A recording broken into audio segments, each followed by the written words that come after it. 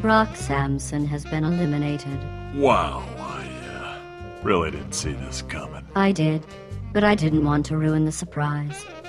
Surprise.